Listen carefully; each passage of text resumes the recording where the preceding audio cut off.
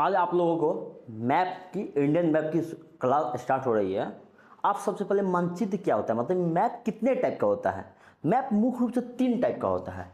Map map कितना type का होता है? तीन टाइप का। सबसे पहले का होता है? Political map. Political map. अगला होता है फ़िज़िकल मैप। Physical map. अगला होता है थीमेटिकल मैप। थीमेटिक मैप आप समझिएगा पॉलिटिकल मैप का हिंदी होता है राजनीतिक मानचित्र। राजनीतिक मानचित्र। आप ध्यान दीजिएगा, अब फ़िज़िकल का मतलब भौतिक। भौतिक मानचित्र।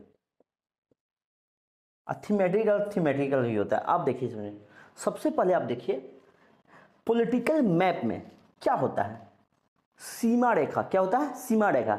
हम राज्य, केंद्र शासित प्रदेश जिस मैप में दिखाते हैं, बिहार, जैसे बिहार यहाँ है, उत्तर प्रदेश यहाँ है,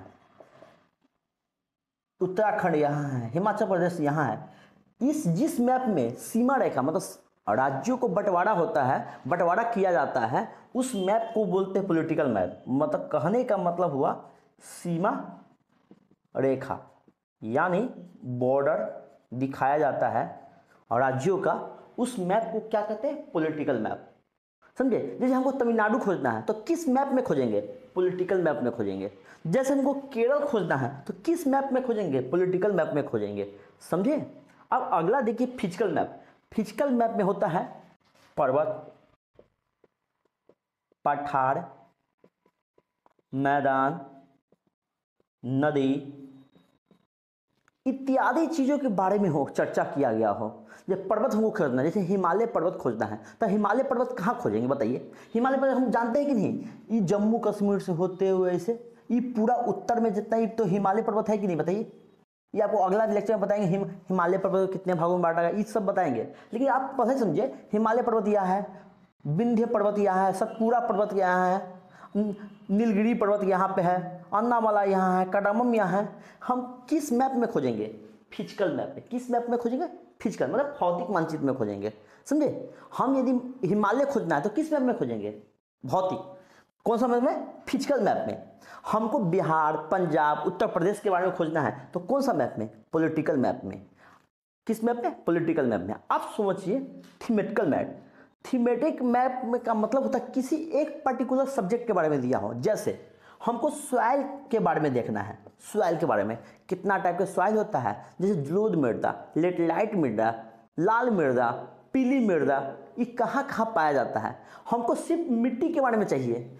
सॉइल क्या होता है? मृदा होता है। क्या होता है? मृदा हमको सिर्फ़ मृदा के बारे में चाहिए मैप तो हम किस मैप में खोजेंगे? थीमेटिक मैप में।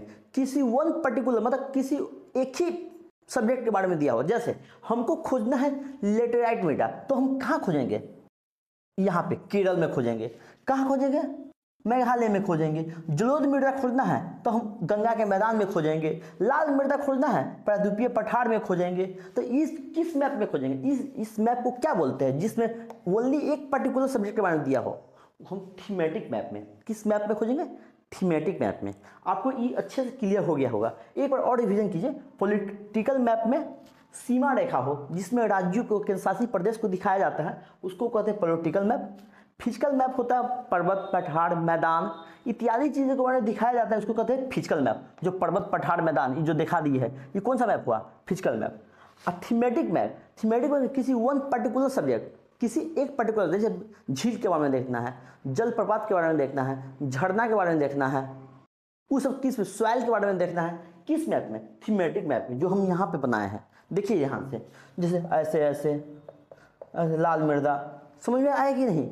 ये बताइए, ये आपको, हमको लग रहा है, ये आपको अच्छे से समझ में आएगा। तो फिर से अगले लेक्चर से आपको स्टार्ट करता हूँ।